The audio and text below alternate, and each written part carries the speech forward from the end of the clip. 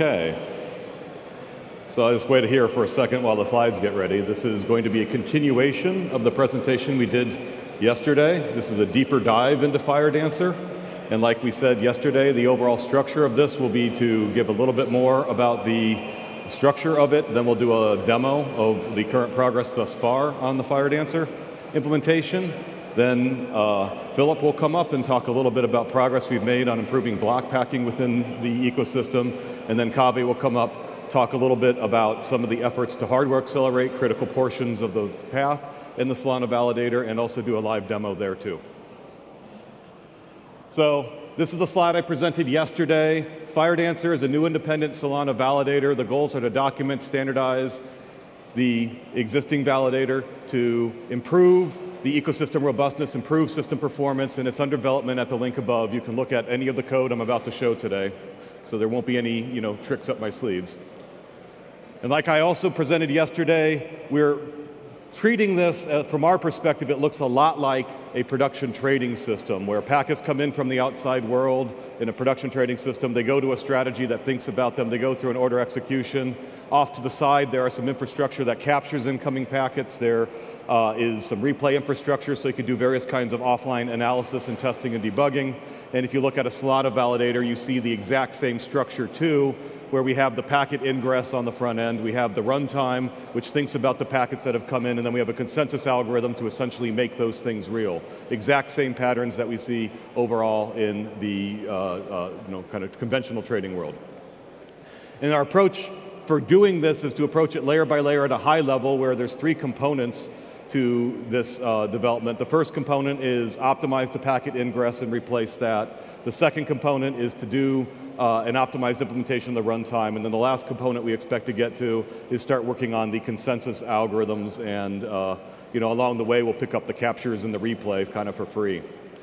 And this led us to the concept of a Frankendancer. We didn't want to go do this project as one giant Big Bang project where we'd come out and say, hey, we're going to go away, put our heads down for two years, you won't hear from us, show up with a new validator that may or may not be compatible with the existing validator. So we know Solana is still under active development, changing things. We want to keep in sync with that while not introducing too much friction between the organizations. So we are planning on just modularizing the existing validator and then replacing components as we go, which introduces the concept of a Frankendancer where we are stitching in to the existing validator, the components as we develop them to speed them up. Now, kind of a side effect of this is that we expect the early developments, even though they may be very high performance, they'll be interfacing with an ecosystem that is not very high performance yet. And so it will be like putting a sports car in the middle of a traffic jam, but we do expect that the performance and the robustness will continue to grow as we get more and more components replaced and improved. So if we look at the architecture of Frank, and this is a slide I showed yesterday briefly, uh, what we see is at the top we have a lot of the stuff where the pointy end of the stick is for interfacing with actual packets on the network. And a bread and butter for jump trading is interfacing with large numbers of NICs with large amounts of redundancy so that if any particular component fails, we just keep on trading actively. And uh, all of these are very high bandwidth. Like described yesterday, a modern exchange looks like a distributed denial service attack that never ends with constant uh, uh, line rate bursting of multiple cross connects at the same time, and you have to keep up with it to stay alive. So after we deal with that interface, we intend to go zero copy directly into a massive bank of signature verify tiles. If you look at computationally, at least on the packet ingress end, essentially what you have is something that just needs to verify things as fast as possible.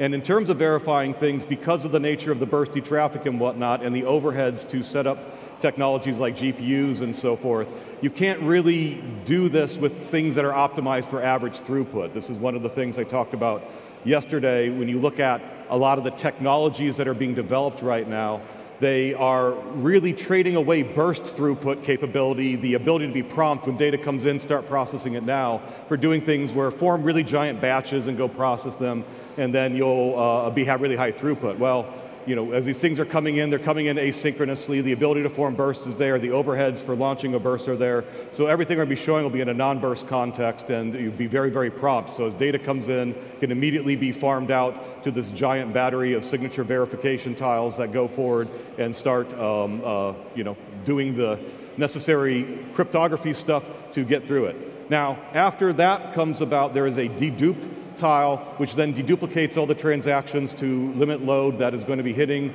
the runtime system afterwards there. There's also, uh, and I'll show this in a slide here in a second, a uh, pre-dedupe stage in the signature verify, and this doesn't really exist for anything in the existing Solana ecosystem, at least since they've moved on to the QUIC protocol. Uh, but if somebody was to, uh, when you're using the high availability and you're running active-active, you do expect to see a lot of redundant traffic just by nature of that. And we can filter that out just up front by saying, gee, I just saw this packet from its you know, sister NIC, and so I'll throw that away. And so there's a pre-dedupe stage that also goes on in there. After you get through the dedupe stage, you get to the pack stage, and the pack stage does the actual block packing. And then we have a process boundary between what we're writing in the Solana uh, um, uh, uh, validator, and that is where the blocks will be then fed into the existing runtime.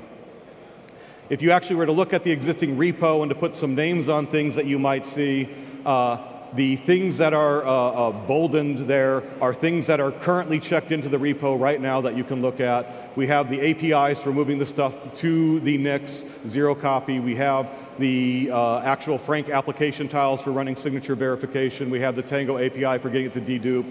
We have the dedupe tiles uh, running. We have the um, um, Tango and whatnot. Uh, we are still putting together the disco libs and the Rust shims, and so uh, keep in mind everything I'm showing is very much a work in progress. And this is essentially, we've uh, started this work um, you know, full bore, I would say, about two months ago. So those know, kind of put frames around where we're at and how fast we're progressing. So if you delve into the details of these individual tiles, what you see on the left is a picture of a dedupe tile. With the dedupe tile, it's being fed by a bunch of data structures provided by the Tango API. It is essentially just round robin polling amongst various uh, uh, metadata sources to say, hey, where's the next packets might be for the NICs that I'm particularly interested in. Uh, then it goes through a, um, actually for the dedupe tile, this would be after the signature verify. Uh, then it goes through essentially the spam dedupe. If somebody is sending a lot of transactions in different sessions, then you can't really uh, uh, dedupe that up front. You have to do it afterwards. So that essentially goes through a quick thing. Have I seen that recently? Get rid of it, and then publish it downstream for that. On the right, we see the SIG verify tile structure itself. Uh, similar overall structure for how the communications work uh, pull various ones, do a parse of the packet. We want to parse because this is parallel. We expect most packets to pass parsing, and parsing is pretty lightweight, so we might as well parallelize it and pick up the throughput. Do the really quick high availability dedupe on top of it, then start doing the SHA-512. As part of the SHA-512, generate a hash that we can use for various kinds of really fast um, deduplications later without having to do full packet comparisons. Uh, go into the actual elliptic curve cryptography tiles using the exact same signature verification algorithms. Our current implementation is very, very fast, but we've also been very slavishly imitating the internals of the OpenSSL library for this. So uh, as it stands right now on like a 3.3 gigahertz ice lake, we can do the SHA-512 elliptic curve cryptography in about 38 uh, uh, microseconds um, to uh, get through um, all of that. We think there's still some slop in the implementation improvements. In particular, we have a lot of people uh, who are very, very familiar with elliptic curve cryptography and have looked at the algorithms and said there's a lot of room for algorithmic improvement. And so our next phase to try to push down the SIG verify costs there are to essentially break away from imitating OpenSSL and get very, very um, um, um, optimized on the more algorithmic side of the algorithm, and then hopefully maybe get another 10, 20% uh, in performance off that for software. Um, if you look at the overall costs, the dominant cost are those SHA-512 and the ED25519 uh, algorithm. Um, yeah, I'd say about you know 10x is in the uh, ED2. Uh, uh, uh, let me let me think of how to phrase this. Um, uh, I would say you have about you know low to mid tens of thousands TPS per ED 25519 per, per, per core that you can run. Uh, it's actually a pretty tight implementation, and it's tight enough that uh, you can use hyperthreading with it to get some additional boost. The hyperthreading doesn't necessarily give you um, a, a, two to one speed up because it is tight enough on the scheduling that it, um, uh, you'll see some speed up but not a, a, a straight linear scaling. Uh, you see about the rest of cost, and essentially SHA and every other piece of infrastructure has performances that's in the millions or tens of millions or more in terms of transaction handling per second. Now, also looking at this, we've made some suggestions on the Solana Discord and whatnot and potential directions. There's a lot of areas here where we look at these algorithms where we can see how they could be more optimized if you really wanted to, to improve performance. But right now, we are keeping this exactly compatible with what the existing val validators do for that. But like when you look at these algorithms, I think the most common thing that you see is they never met a sequential dependency they didn't like, and processors aren't good at sequential dependencies. And so any way you can restructure these algorithms to exploit more parallelism, be they core parallelism or ILP within the instructions, or as we'll see with some of the stuff Kaveh will present, um, parallelism with uh, uh, hardware, then you can get really dramatic speedups and reductions of area. But you know, right now, if you look at these things, you see these pipelines that are you know hundreds and hundreds of stages deep, and they look uh, superficially hardware friendly in that they use operations like XORs and rotates and so forth, but they are actually really quite hostile because of all those uh, sequential dependencies, and there's other ways to be structure them for performance. And if you go through the same kind of breakdown of how these things map onto the existing things, you're looking at the repo. The repo is structured as a number of libraries, and you can see that uh, you have the uh, Tango library for the communications, which provides some of the objects. And in the Ballet library, we have a lot of implementations of just things that are standards, and we have to you know, conform to the standards. So I'm now going to transition to a software demo here, I hope.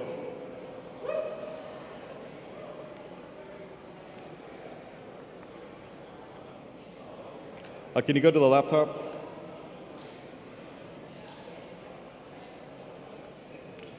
I have a sneaking suspicion that this went to sleep and it lost my connections to GCP. Yep.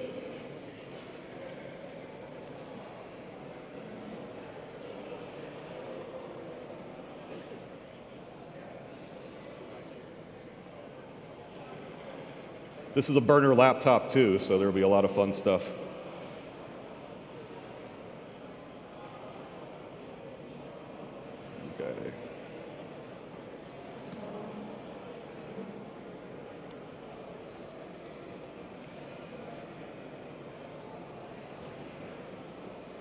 Okay, so this here is FireDancer. This has been checked out on a really vanilla GCP cloud instance in Madrid. We picked it in Madrid for hopefully low latency in this presentation and a, a, a reliable internet connect, uh, connectivity.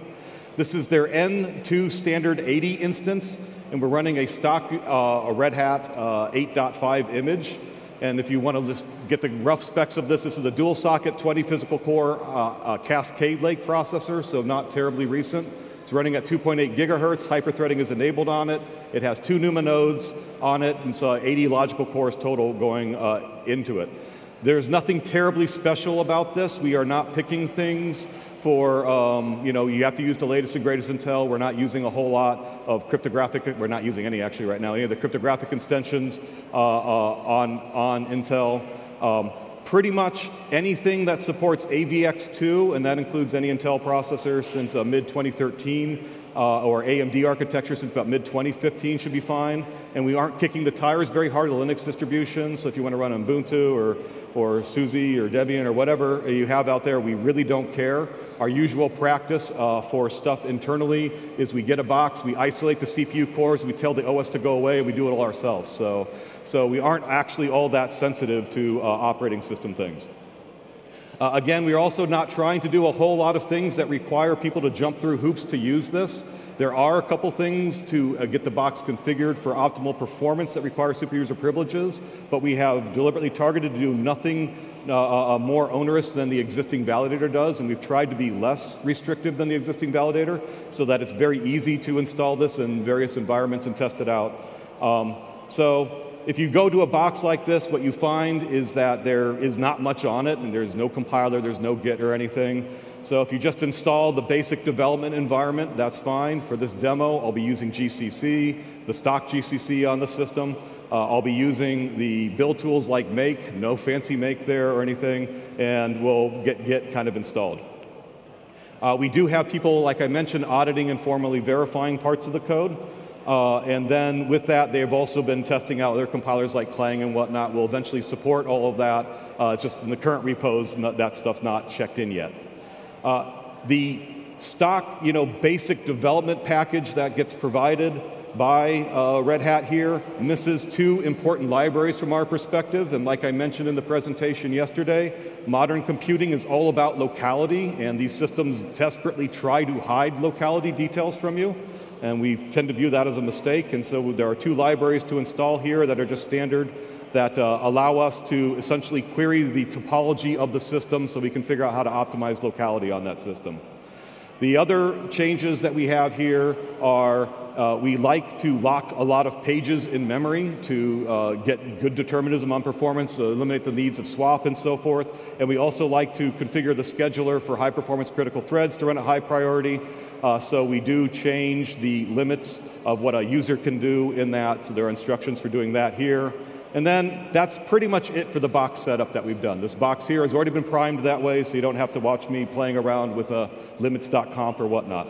Um, after we do that, we just clone the repo, and you can clone it today, and then we're going to build. You can just type make, but we strongly suggest using make-j because this is a proper parallel incremental build uh, out of uh, out of tree and all the other nice kind of properties. There's a number of machine targets that it will do. If you just type this vanilla, the default machine target will go to this Red Hat 8 x86-64, and then it will you know, do a bunch of stuff. We'll see it go through that.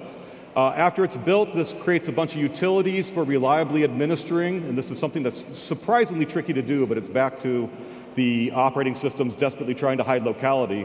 There are utilities that will allow you to create memory and will actually give you that memory. It won't, you know, like, you know, uh, basically think you're bluffing and then try to defer as long as possible. Uh, it will bind it in various places, so you can just very reliably say, I want some memory here, and I want it to be backed by this kind of page for TLB efficiency. And so, like, the configuration I've done on this box is this exact set of commands over here, and it will reserve some pages. I've already done this. And then we also created a sandbox because we are doing this with interprocess models. There's a lot of stuff to set up, all the shared memory objects and so forth. And so we could also do all the asynchronous starting and restopping of applications. And so over here is a command to set up a little sandbox on that. So just to go, not used to typing standing up. So if we just go through here real brief, again, just reiterating, this is a you know, normal Intel hyper-threading enabled. You can see here uh, processor 79, the last processor kind of mentioned. Uh, 2.8 gigahertz. We haven't done anything to configure it. We haven't played around with ME, MSRs or anything else like that to make this kind of run fast.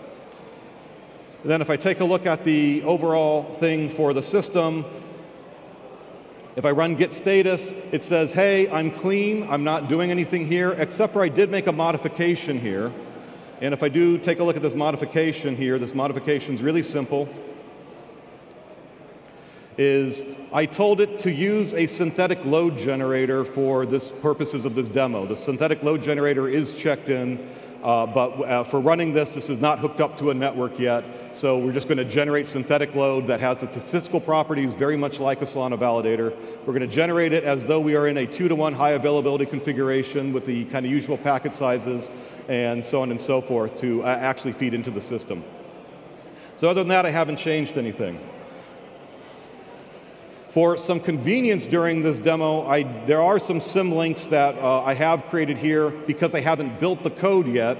These symlinks uh, are, aren't going anywhere yet, but I just put these here to save me some typing during the demo. So if we take a look over here, yeah, and I just type make help, it's going to tell you what it thinks it should be doing for this particular system, and so what machines it's doing, and so on and so forth. And with all this, we see our CPP flags, and you can get some kind of idea of the discipline that we have internally. I'm particularly proud of these set of warnings here and whatnot. We, we refer to it as the brutality. Um, but, you know, I really despise the fact that narrowing conversions are allowed in C. uh, silently. We turn all of that off. I really despise that there's silent float to developer promotions, that there's a lot of problems in the type system around types smaller than ints, uh, and so on and so forth. So we are really running a really, really uh, bespoke dialect of C, which runs well for cross-compiling between the Solana blockchain, running on x86, running on various kinds of ASIC targets, and or making things easy for FPGA engineers to synthesize for their hardware. Uh, beyond that, we aren't doing a whole lot uh, uh to the particular compiler build. So if I go through the make process over here, and I'm not going to do make parallel first, I'll just do a serial make. Ah, I forgot to type the less. Here we go. So if I, if I do the make here, what we see at the beginning of the thing is the usual stuff where it's generating dependencies for the C source. And as it goes through making all the dependencies so we can do the proper incremental parallel makes and whatnot, uh, the make file does log what it's think it's doing if you're trying to debug some kind of make issues. It's a very useful thing. We see it starting to compile the various sources together. It does support mixed language development paradigms, but most of the low-level stuff is written in C. And then it gets combined into a library to do the various uh, uh, sub things like the Tango library, the Ballet library, and so forth. And then it creates a ton of unit tests. And if I go through and I just do a build from scratch, what we're going to find here at the build from scratch is that, you know, this will just take, we are real sticklers for quick build. We've just built everything from scratch. So we're done with that. Um, if I then go look in the unit test directory, there are tons and tons and tons of unit tests. Everything is extensively tested uh, uh, uh, at, at, you know, levels most people aren't used to seeing. Um, so pretty much we use a very interactive development philosophy where uh, you write a line of code, then you update the unit test. We keep iterating back and forth. It's one of the reasons why we're really sticklers on really fast build times. Uh, we almost use these things, uh, big scale systems interactively. If you go over to the bin directory, there's a bunch of things in the bin directory that have appeared, and these are the actual applications that we're going to start kind of playing around with. So if I go over to the shared memory configuration stuff, almost everything here has a little help description, which will give you the kinds of commands and powers. I won't demonstrate every single one of these, but if I go over to the query over here, what we have is we have uh, like I mentioned, already primed the box by allocating some gigantic pages on each NUMA node and how they're being used. And we've already set up a, uh, a sandbox for all these shared memory objects that are permissioned for me. Uh, and uh, we'll use these to create various kinds of stuff. So with this, we can start initializing uh, the Frank instance. So we're going to type frank init. It's going to tell me, hey, give me a name to the validator I want to run. Tell me where you want to optimize all these objects for, for locality. I'm going to say put it near core zero, which is also NUMA node zero on this box. And for now, I'll just say let's do one verifier on it. And I'm going to tell it I you know, put all the build stuff over here in this directory. And this is going to go off, and it chattered to itself. And in this chattering, what we see going on is that it has made a a bunch of objects in shared memory. You see it talking about the objects that it's doing, and it's recording how it laid out the shared memory and formatted it. And so if we go down to the bottom here, this is the actual um, uh, uh, uh, actual layout. We can then look around and we can see that in the sandbox that we have, that you know suddenly this thing that's gigantic pages uh, has appeared called Frank Workspace, and the Frank workspace is where all of our toys for running uh, the Franken Dancer have gone. So I can go maybe a little bit further on that. There's a bunch of tools to further inspect a lot of this so you can expect real-time the state. But uh, let's uh, take a look at what's in the uh, Frank workspace. And in the Frank workspace, it's basically saying, hey, there's some stuff that's been allocated. A lot of this looks like file system tools, and that's not entirely unexpected because what people don't realize is modern x86 is not an x86 processor anymore. It's a network of x86 processor emulators, and memory isn't memory anymore. Memory is actually a distributed file system that emulates DRAM. And so most people aren't used to thinking that when they touch some memory, it's actually equivalent under the hood to essentially resolving a symlink to a inode and then opening a file and then reading the entire file, then modifying the entire file, then closing it. And so when we look at all this kind of stuff and we look at programming methodologies and whatnot and we see how inefficiently they're being done, it's, it's people are doing essentially file system operations but acting like it's a zero wait state system from 1982. So over here, we see that we've already partitioned up this thing for all the various objects that are sitting around. And you know, with all of this, let me uh, go transition windows. And since we closed a window, I'll have to open up a new one. This will probably be hard to read, but we'll see why here in a second, because this will be extra tiny fonts.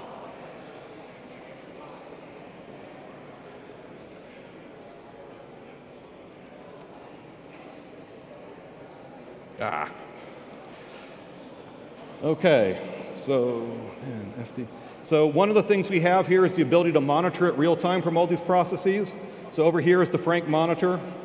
So the Frank monitor, it, I just ran it. It told me, hey, tell me the Frank instance that you want me to, to look at. And when I run this, this has gone and inspected that shared memory region and has pretty printed what's going on inside the Frankendancer. We haven't actually started it yet, so this is just here to kind of show the monitoring stuff in a very limited sense. And so what we see over here is there's monitoring of the individual tiles in the Frankendancer instance. So here we have the main application, we have the packing, we have the deduplication, we have the verify tile. Since they've been created, nothing's happened. You can you know, gauge how fast I'm talking based on the uh, time here.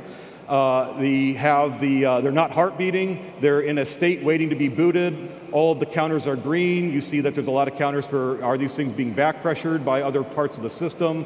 Uh, are the sequence numbers increasing? Uh, how much transactions are hitting them? How many are unique? How many are failing signature verification?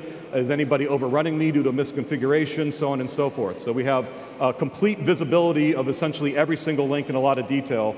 And this is actually only a subset of all the things we have, but we can just do all this kind of non-invasively. So with this, I'm going to uh, uh, run the monitor. I'm just going to tell it to run over here, um, uh, basically uh, printing out a snapshot every second. And so this is now going forward, and it's just basically printing out snapshots. Ah.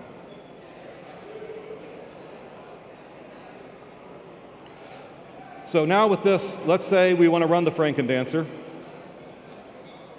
And we're only going to run run validator right now. But that will just kind of show some of these uh, features over here. And so when I say like bin Frank run, like we saw before, it's going to ask me, hey, uh, what's the name of the instance I'm supposed to run so I can figure out where all these objects are and connect to them.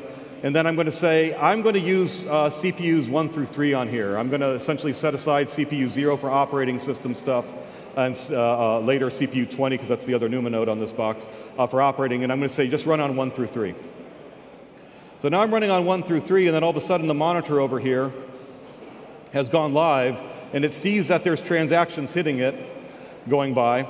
And as we look, what we are basically seeing is, you know, uh, all the tiles are in a running state. None of them are being back pressured by anything. The back pressure counts aren't ticking. We do see some failures on the signature verification, but that's deliberate in this test because we deliberately configured it to have about 1% of the transactions hitting it be wrong just to you know, stress out those parts of the system. We see that transaction sequence numbers are increasing. We see that you know, the deduplication is seeing traffic. We see the verifier seeing traffic right now. With a single verifier, we're getting about 30,000 transactions per second through one core. Uh, it is being deduped into about 15, 16,000-ish, uh, 15,000-ish uh, unique transactions per core. Um, we are seeing, you know, the percentage of the traffic that's being deduped is consistent with the two to one high availability. 50% of the traffic is just immediately identifiable as replicated traffic from a, uh, uh, redundant NIC. And then we also see over here uh, that about 1% of the traffic is failing signature verification by design. And everything's working right. No one's being flagged as a potentially thing slowing down the system. No one is being uh, flagged as being overrun due to a misconfiguration or bug or anything within the system. Now it's important to note here, like when I'm doing this, there has been no mallocs, there's no frees, there's no atomics, there's no uh, hardware fences or anything in the critical path. We're using one TLB entry for everything and doing all this, and all these tiles can be put in different processes for lots of isolation and so forth. We don't really care about any of that. So, so if I go over here, I'm going to stop this process over here and just Control C it.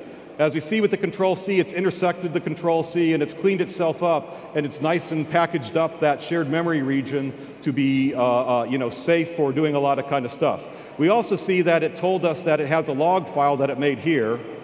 And so if I try to bring up that log file, let's see, 7, And this one won't show up very good because it's so long. When you look at the, this is, this is meant to be the permanent log. The log that you see at the command line is essentially meant for developers sitting there who has full context of everything that's going. But you know, typically when we're in a trading context, there's two contexts for logging. There's the context of a developer who's sitting there who already knows who they are, they know what host they're running are, they have full information. Then there's a second context, which is a regulator asks you seven years ago, what were your systems doing on this day and why? None of that context will exist in a log. So there's also a permanent log that gets created that has a lot more detail as to what was going on in the system.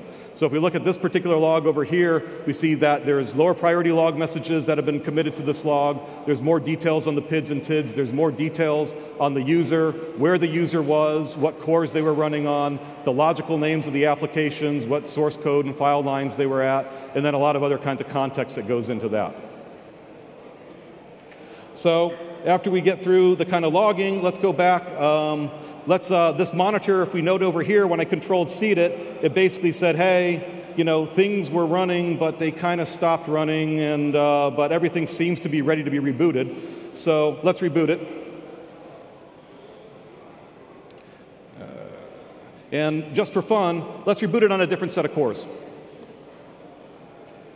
So I rebooted it now, and everything came back. This rebooted from where it left off. This isn't starting renew. This is exactly picking up where it was at. And if we actually note here, the dedupe uh, pack link isn't ticking. Why isn't it ticking? Because it rebooted, those synthetic transactions are actually replaying from the old. So now the dedupe tile is looking at it saying, I've seen these fairly recently. These look like they're duplicate traffic. I'm going to suppress those. So that's pretty cool.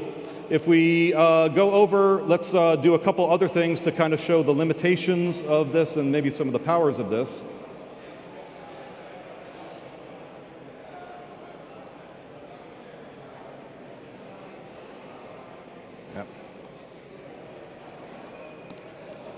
So with this, um, let me take a look at what the process ID here was. Um, 617, 650, uh, 7, 7, whatever.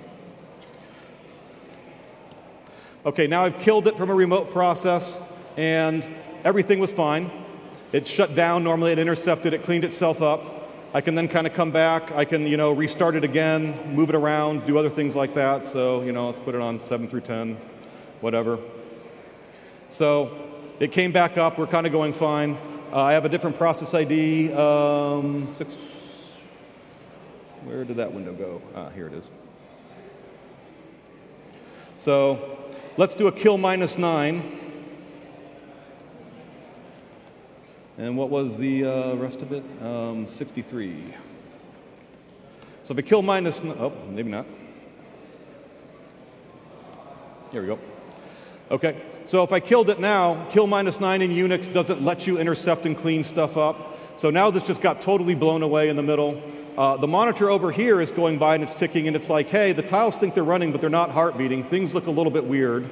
If I try to bring the system back up on top of that, the system will then come up and say, wait, this validator is not safe for restart or anything else like that. This is in a weird way. I'm not touching with the 10 foot pole. So, with that, let's, uh, let's do something a little bit bigger.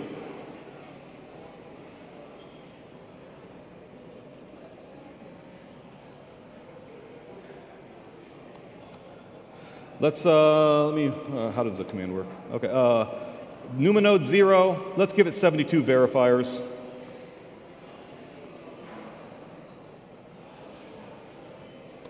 That should work. Okay, so we built it up. And now let's bring up the monitor for this, and then we'll see why we had such a small font before.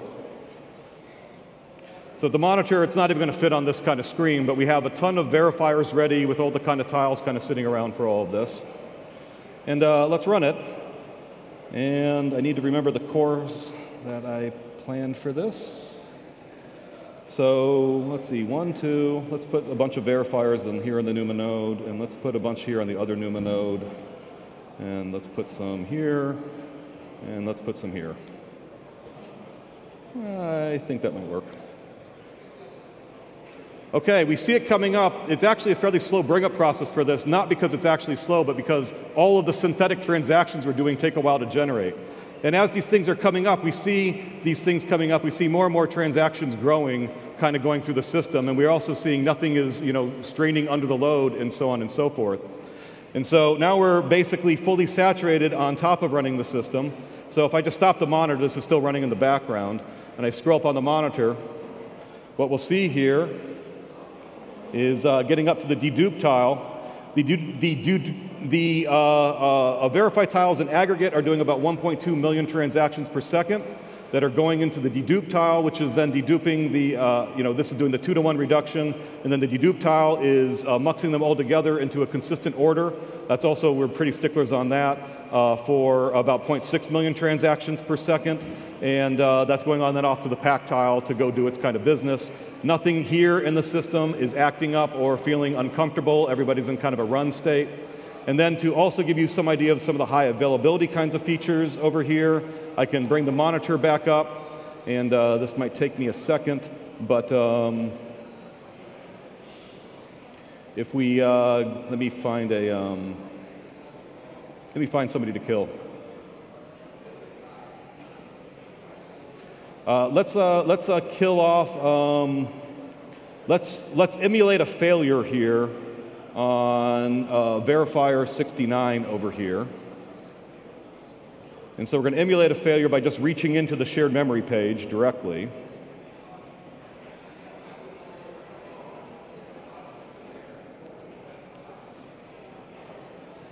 Am I in the right place? Yes.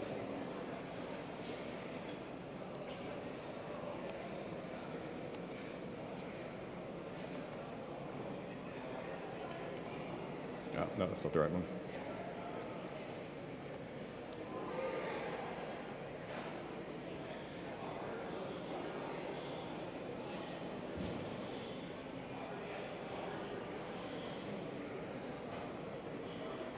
So here, I'm just going to go tell that individual command and control, just directly reach into it and tell it to shut down. And so now it's acted like it's faulted. Let me bring up that monitor again. And we can actually overall see now in the monitor that down here, this link is now registering as uh, being dead. And it's not actually getting any kind of traffic. So you can identify parts of your hardware system that have failed. Uh, but, uh, but, you know, because we had the high availability and whatnot, nothing would have broken the stride in terms of lost packets. We can also see, because we're using hyperthreading, the hyperthreaded pair of this one has suddenly gotten faster. And so we can actually start diagnosing a lot of very interesting performance anomalies kind of real time with all of that. But you know, with that, that gives us at least some idea of the kind of capabilities. I'm happy to go into more details of the code, but you guys can all read that directly. And I think with that, that's a good place to wrap up this initial demo of where the software looks like for Frank. And now I want to switch back to the uh, presentation for, um, uh, and have my colleague Philip join me here on the stage to talk a little bit about block packing. Cool. Okay. Um, the clicker's on there.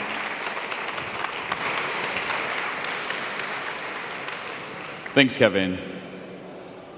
Yes, so as Kevin mentioned, I'm going to talk about block packing. And I'm actually going to talk about one specific piece of block packing, which is transaction cost estimation. Uh, got it, yes. So what is block packing in the first place, and why is transaction cost estimation an important piece? Well, so as I'm sure most of you guys know, uh, when these transactions come in, they have to land on-chain. And space in an on-chain block is a scarce resource. So the validator needs to pick which transactions actually make it on-chain. And the validator's goal is to pack as many as it can so that it can maximize its fees. But there's a constraint, which is that the block has to be replayable in time by the majority of the network. Otherwise, it'll lead to a fork, and then the validator won't get any rewards from that block. So there's an asymmetric risk here where if you underpack by a little bit, you get most of the rewards. And if you overpack by too much, you risk getting no rewards at all. So then this pushes the validators to a conservative packing. And it means that we're in the regime where the more information we have about the transactions, the better we can estimate their compute units uh, costs, the tighter we can pack the blocks, and the more transactions can ultimately land on chain. And I guess it's also worth making a note uh, about the compute budget program, which is relatively new and uh, more transactions are starting to use it. But until the vast majority of transactions use it, and even more until the vast majority of tra transactions are actually estimating their compute accurately, this is still a very useful uh, role, piece of the block packing process. So for all these results that I'm showing, uh, I'll have plots like this where for I, I took a data set of 1,000 blocks just from some random day. It was like 2 million instructions. Um, and I, I think these graphs maybe I downsampled a little bit, but there's a point uh, on the x-axis is where the algorithm predicted it, and on the y-axis is the actual uh, compute unit use. So what you're looking for is a sharp uh, line around, like you know, slope one, y equals x, um, and that means that we're estimating it accurately. So here, this is the current validator algorithm. You can see there's a general trend, y equals x, you know, the diagonal line, but there's definitely a ton of spread um, and a ton of places where we're both overestimating and a ton of places where we're underestimating. So if we zoom in here, oh, and the r squared, sorry, the r squared of this, if you fit a linear regression, is 0.65. So definitely, you know, we're not, we're, getting somewhere, but uh, there's still a lot of room for improvement here. So if we zoom into the, the region with all the points, we can see just a little bit more detailed. You know, there is that clear trend line, but there's also a lot of spread. Um, okay, so then how is Firedancer going to do this? So um, I've been working on this algorithm. The key data structure we'll use is a fixed size hash table, just like the current validator. But instead of uh, storing each uh, program ID and like uh, and using a normal hash table, we're just using buckets basically. We're treating this like a, a set of buckets and we'll, from each instruction, we'll map into a bucket, and for each instruction that's mapped into that bucket, we're keeping track of the mean and the variance and the count um, for those transactions. And so then when each instruction comes through, we'll look at the buckets that it maps to, add it up, and then um, after the banking stage, when we have or executed the transaction, we know how many compute units it actually used. We go back and update the buckets with the new information. Um, so in, in, our experiments, we found just using actually one hash function that takes the program ID and the first byte of instruction data, which typically clues you into which instruction the program's actually executing, uh, works. And for comparison, we used 1,000 buckets, um, which is the same as the current validator, although these buckets are actually a lot smaller. So if we did maybe a equal size memory comparison, we'd be, I don't know, 4,000, 8,000, 16,000 buckets, something like that. Um, and, and so you can see these are our results. Immediately, this is you know the zoomed out view. It's a, a lot cleaner. There's a, lot the diagonal line is a bit more pronounced. Um, but again, zooming in, oh, and sorry, our R squared here is 0.89. So from 0.65 to 0.89. Uh, if you look at it the reverse, we're like making three times fewer mistakes. Um, so big improvement. Uh, again, zooming in, this makes it even more clear. So on, on the left, you have the current validator. On the right, you have ours. The diagonal line is a lot um, sharper, we're getting uh, much better, much more accurate results. And even, even more than this, I would say our algorithm is simpler. Um, and so I guess it, it, also makes sense to kind of pull apart the two factors. One, we're using a better uh, feature, as we'd call it, a, better hash function. And two, we're changing the structure of the table. So if you take um, our new hash table structure with the just the program ID, which is what the current validator uses. Even still, we get better than the current validator, although the, um, the difference is not as big. And plus, one, one nice feature of this is that we're getting standard deviations of our estimates for free. So we're getting a measure of uncertainty on our estimation, which is great because there are some transactions that, you know, uh, no matter how we do it, they're going to be hard to predict with high accuracy because they could be very data dependent on, you know, a bunch of on-chain accounts and there's no way we can go and like look through all these.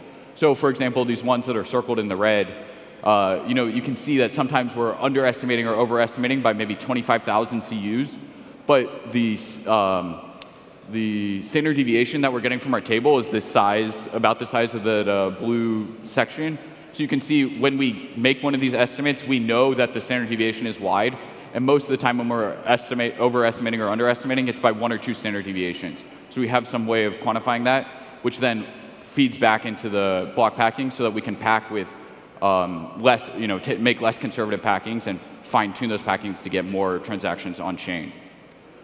Okay, with that brief note, I'm going to turn it over to Kaveh, who's going to talk about some really neat hardware work.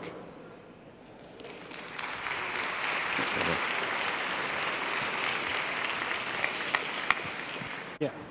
Hello. Good. Am I good? Okay. Hi, I'm Kaveh. I'm, uh, I do hardware R&D at Jump. Um, thanks, Philip, and uh, that was pretty good. Uh, so, is this it? This is it, yes. So uh, in this quest for um, a second slash faster validator, and um, we've already talked, uh, Kevin talked, already talked about all these components, and uh, so these are the components that we've looked at, studied, and we found suitable for maybe hardware acceleration, and that's what I'm going to um, talk about a little bit uh, both from uh, a theoretical and also from practical perspective. That's, that's what I'm going to do today. I'm going to talk about um, what it takes to uh, and what it means to accelerate these components, uh, at least some of them today. And also, I'm going to show a live demo on an Amazon F1 of what we've done so far. So, um, um, okay, this slide is showing up empty. I don't know why, but uh, so I'm going to skip that. And um, so uh, in, when you start considering hardware acceleration, the first thing you have to consider is um, what form factor are you talking about, right? Like what form factor for your hardware are you going to consider? And the very first uh, naive setup that you can think of is the old-fashioned, you have a processor in the middle, and you have your networking on one side connected through PCIe or some or newer pro, uh, um, uh, protocols are coming, but uh, usually you have your, that uh, connectivity to your, uh, to your basically outside world. And then on the, uh, on the other side, you have your FPGA or hardware accelerator connected through, and again, some sort of bus, uh, PCIe in most cases. Again, better pro protocols coming later. But this is what you use, right now, at least, you see in Amazon AWS F1s. And well, obviously, you can see it has limitations because uh, any data that gets in and out of the FPGA, your hardware accelerator, has to go through your has to go through PCIe, has to go through to your processor. So you're allocating a uh, processor for at least one core to talk to the FPGA, and then uh, you're limited by the PCIe bandwidth. You're limited by um, you're constrained by the PCIe latency, uh, all of that, right? When you're thinking about an application that is network-centric, right? It's distributed and your primary, uh, uh, primary thing that you do is communicate, something like this makes more sense, right? Like if you have an FPGA that's directly connected to the network, and then, uh, so the data gets to your FPGA a lot faster without, uh, like, uh, with fewer hops. And then there's a processor there for coordination. You know, you always need that processor there, so, so someone needs to take care of um, the management of the uh, system. But, and then the um, the communication between your processor and the FPGA is less of an important issue here, right? So you can rely on your direct connectivity here. And this is something that you see in Microsoft Azure, at least that's what they use themselves for their search uh, um, acceleration. Okay, so, so we have this, uh, these different form factors that we can play with. Uh, of course, that's um, dependent on the data center and all that, but uh, we just wanted to have that out there that the uh, form factor and the configuration of the system makes a big difference in, in terms of how you can utilize your, um, utilize your hardware accelerator. Now, looking at all of those components that we had, uh, that Kevin also talked about, uh, the very first thing that comes, that pops out is SIG verify. Like when you're receiving uh, blocks, transactions, you, want to, you have to verify them. And inside the SIG verify, the first thing that uh, pops out is uh, SHA-512. So that's uh, that's what we decided to do. We decided to just take SHA-512, implement it on Amazon, and show how fast we can run it. So what I'm showing here is a uh, typical da -da -da danger. It actually says danger. Oh, there we go.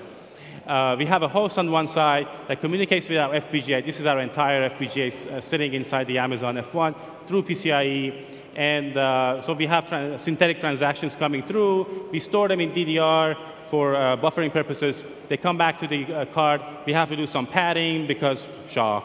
And uh, inside our SHA unit, we have the block scheduler and we have the actual rounds that actually do the computations. Kudos to Javier on this.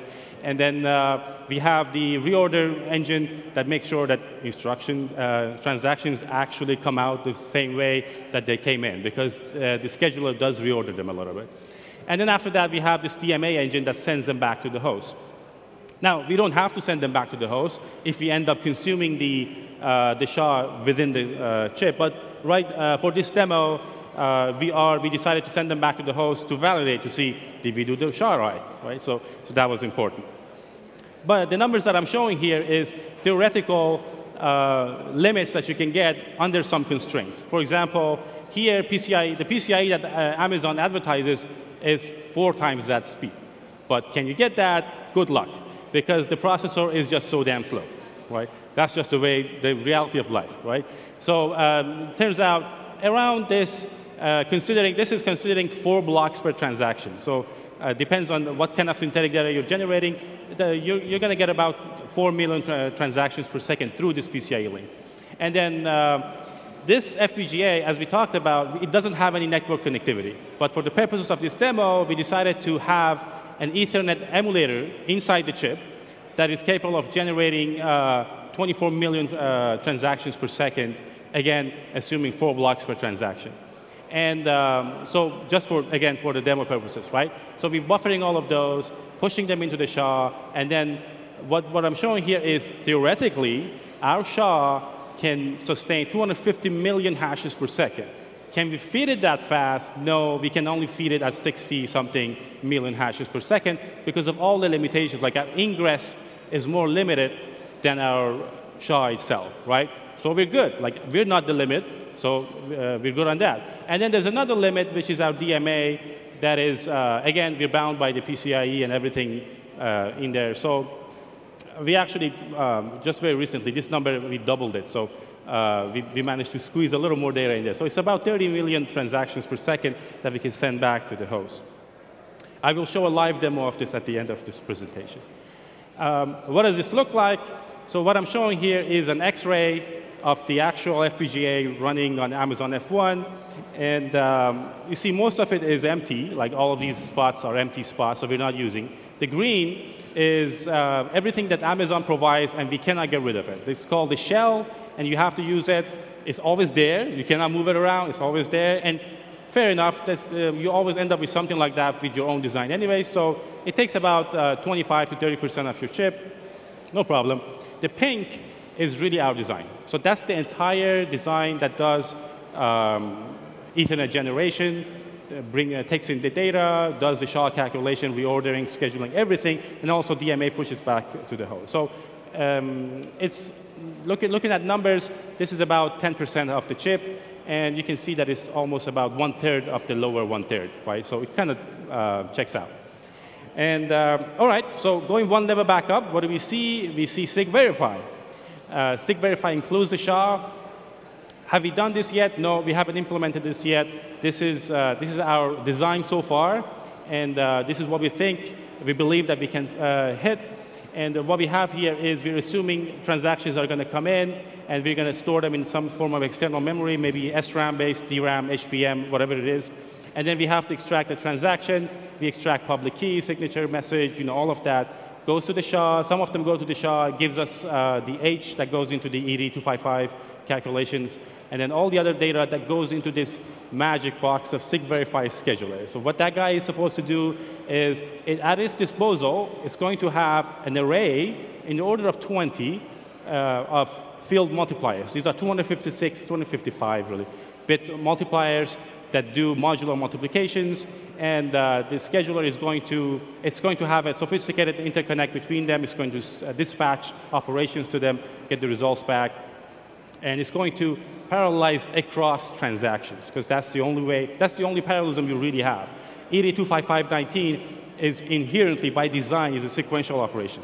You cannot parallelize it. You can run it faster, but you cannot parallelize it. So what you can do is you can parallelize across transactions, and that's exactly what we're um, going to do.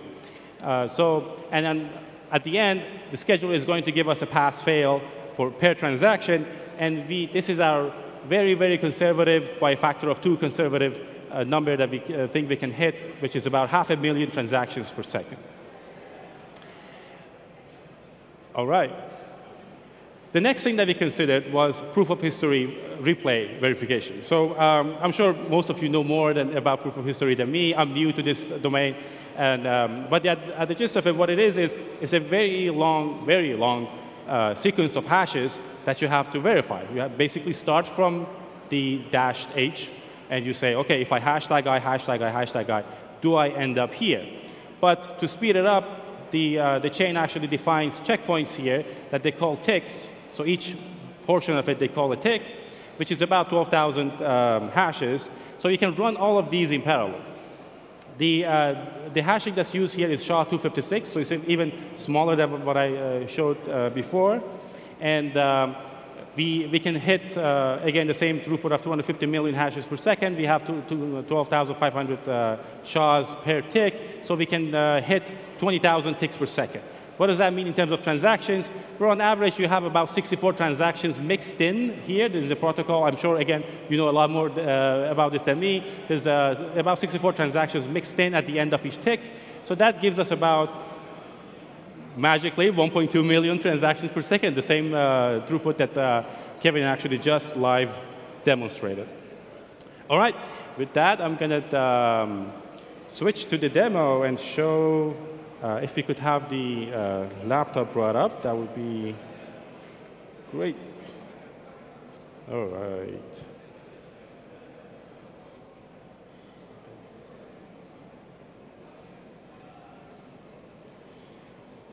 I got the password right. right? All right. Um, where am I? Yep. All right. So I'm just going to, um, um, what I'm basically doing, I'm setting up the uh, AWS uh, tools. This is an actual AWS, vanilla AWS F1 machine that I logged into. Um, it, uh, it has one FPGA in it, uh, and uh, it's like basically the cheapest, smallest FPGA um, capable device that you can get from EC2. And I'm just setting up the tools, and um, it's just standard um, AWS stuff. And uh, what I'm going to do is, um, I, OK, my, my script just moved me into the right directory uh, automatically. So all I'm going to do is I'm going to uh, run this process. So what I'm showing here is uh, two components. I'm showing, uh, by the way, all of these data is getting captured live from the device. And uh, so on the right, what I'm showing is uh, the host has a software sender that is generating synthetic data, synthetic transactions, sending them through PCIe to the FPGA. And what, what it's receiving is, is, basically telling us, yeah, I'm receiving about 24, 25 gigabits per, uh, per second worth of data coming in. This includes the overhead of the header and everything for the transactions, right? And it's basically telling me, I'm looking at the header and I'm seeing about 5 million transactions in there. That's, that's translating into about 5 million. And then it's doing the extraction. After the extraction, you see there's a drop in the data rate because the header was just extracted, thrown in the garbage, right? So the, da the data was just cut down, but these transactions are still the same. And inside, we also have the 100 gigabits per second Ethernet um, emulator. Well, it turns out we overshot it a little, and we're generating 128 gigabits per second. But no, not a problem. Our SHA can handle that. So that's actually coming out to about 80 million transactions per second. If you do the math, you're like, wait a minute, this is about five times, six times bigger than that, but this is way larger than that. Why is that?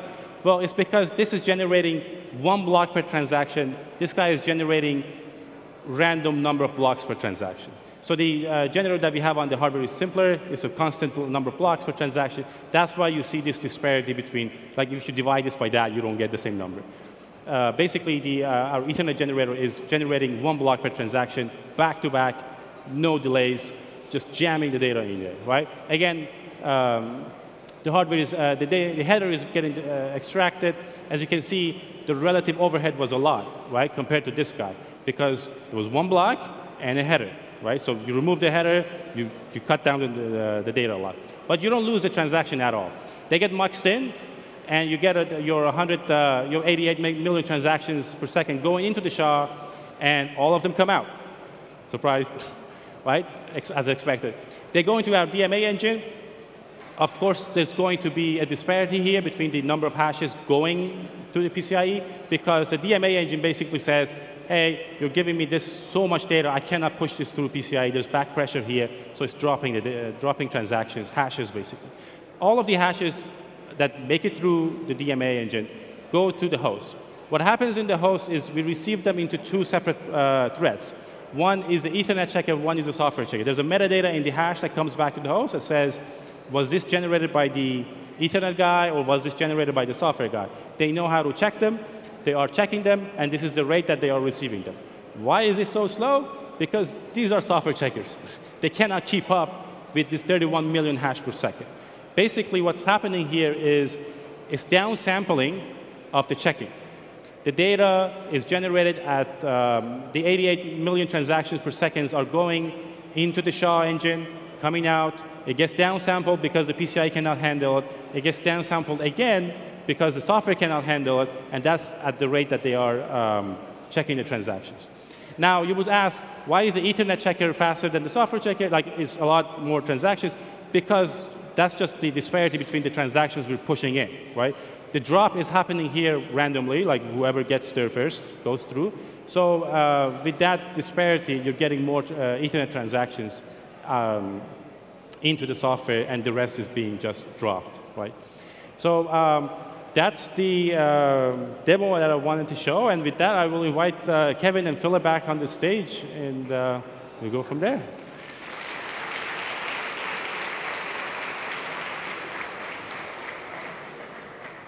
So where did the cool demo go? Oh, I think my mic, oh, okay, good, my, my, my mic is on. Okay, so we don't really have a whole lot more to say uh, at least formally speaking. But I know we're a little bit over on time here, but we're happy to take maybe one or two kind of quick questions if there's any questions from the audience. Okay, no one's standing up. That's either Oh. really, oh, We have one, yes. okay. I wonder if uh, Federation pro- will provide uh, RPC interface like vanilla Solana client. Uh, sorry, Sorry, I'm, I'm not, I'm not getting the audio? So very much- Uh, Uh, yeah. I wonder if uh, Firedancy client will provide uh, RPC interface like, uh, or it's or it will be only about val- uh, validation and RPC providers cannot uh, Did you get use that? it. Uh, here, I'm, Fi- I'm just going to come cli- down because I'm getting a, a, um, a, a feedback loop. I wonder if uh, Firedancy will provide uh, RPC interface and like, like vanilla There's so much echo. Yeah. Uh, okay, so the question is, will Firedancer provide an RPC interface like the Solana client? We intend it to be a drop-in replacement at completion for Solana client, so the answer to that would be yes. Go.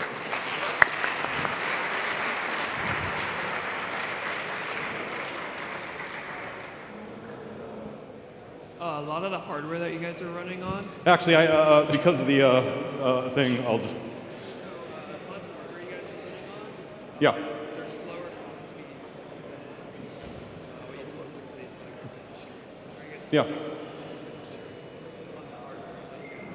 We'll run on the fastest hardware you're willing to throw at us. But one of the concerns that was brought up to us in the past was, were we going to show up with the most bespoke hardware configurations that only the four richest kings of Europe could afford? Um, and uh, no, we are targeting essentially low end, and like a lot of this stuff, you could go very well it's in terms of support. Now, in terms of optimizing, we're targeting the higher end kind of things for optimization. So, like in this demo here, in the software side, you see that you know we got 1.2 kind of million transactions, and we were using you know 40 odd physical cores, 80 odd logical cores on a fairly old box, low clock speed, no turbo, things like that enabled.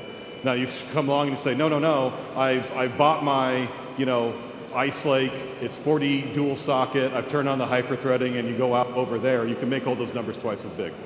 Um, that's pretty easy. Now, I think the important message you want to get across, especially about the hardware demo, is with the um, kind of thing, you know, with much less footprint than buying a really beefy high-end server and whatnot, a single FPGA card, and then only using like a tenth of the area on that FPGA card, we can get 10x performance over that. And so looking at how expensive calculations like SIG-Verify are, that's why we're very strongly looking at, at the hardware acceleration. I think another thing here, which may not be completely obvious because a lot of people aren't familiar with hardware and so forth, um, is that you know, you can get high numbers off something like a GPU and whatnot, but they are really optimized at average throughput. So if you don't already have a really big batch coming in, you have to form that batch. It eats a lot of system latency, and a lot of that takes away from the ability to use it. It makes the software hellishly complex and more bug prone and all of that. So everything we're running here is in a non-batched mode, including the FPGA outside of like the kind of like actual packing of the pack as Kaveh was talking about. And so if you're looking at those things, it's a lot simpler, a lot lower overhead. So those are actual numbers that you can attain uh, much easier than you can by trying to integrate technologies like a GPU that aren't just really well designed for high performance network processing. Yeah. Oh, yeah, yeah. Oh, oh yeah, sorry. Um, okay, okay, you got a good question. Yeah, sure.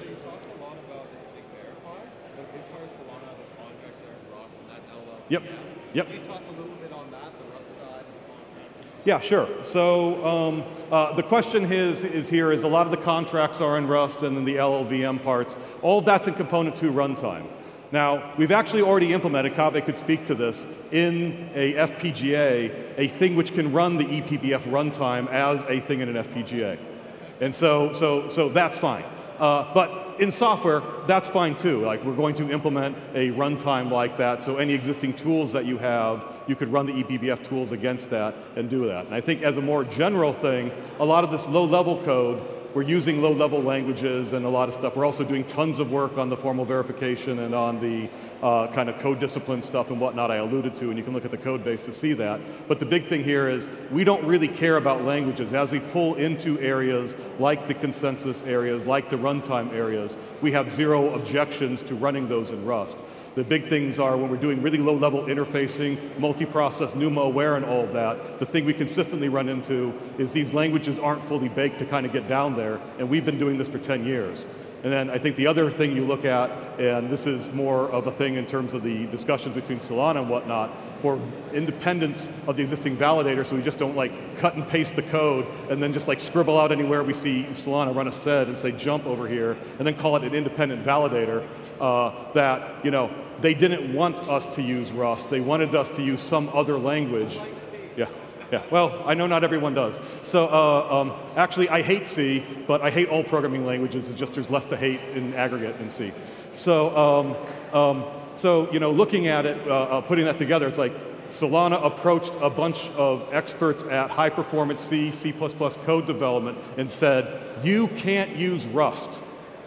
So it's like, okay, well, that was not the hardest decision in for us to make in the world. So, um, cool. Yeah, thank you. Uh, I wonder if you have uh, performance bench test without uh, NUMA and FPGA just to compare uh, runtime performance of vanilla client and FineDesk. So FineDesk without. Uh, uh, we do have a lot of, other, uh, sorry, yeah. The question is, do we have benchmarks to compare side by side for performance? The answer is kind of. Uh, and when I say kind of, kind of, uh, a lot, a lot, a lot of that, like I can look at the OpenSSL that we used as the reference. We're about, you know, five-ish faster than them, uh, somewhere in that ballpark. If I run the same SIG verify calculation, we can just swap out our implementation of it, put their implementation in, run it, and then see they're running at something for equivalent numbers at like the 160 microseconds, 120. Uh, it's a little bit difficult to give those benchmarks because, as per the other questioner, it's so computationally intensive that thing and so relatively memory poor, it really scales as clock speed. So if you're looking at it, you really care about clock speed. So you want to do apples to apples, you're saying like, okay, there's the clock speed, is the turbo mode set up and all those other things. But if you're looking at it, it's a ton faster for that kind of like micro benchmark side by side. Another one that's frequently used is Dalek. Uh, Dalek, we've gone through kind of line by line. We're kind of comparable. Uh, I think the big thing there when we look at it is there's some algorithmic differences. So in some circumstances, we've seen us be a little bit faster. In some builds, we've seen it be a little bit slower. But Dalek that's currently used in the libraries is pretty darn good as well. And we've been comparing against that and then looking at saying like, hey, are there any tricks that we can gain from this instead of just turning loose our internal cryptographers and doing it de novo? Cool. Okay. Uh, I got the time warning. So. Thank you very much. Give it up for the Fire, and Firedancer team.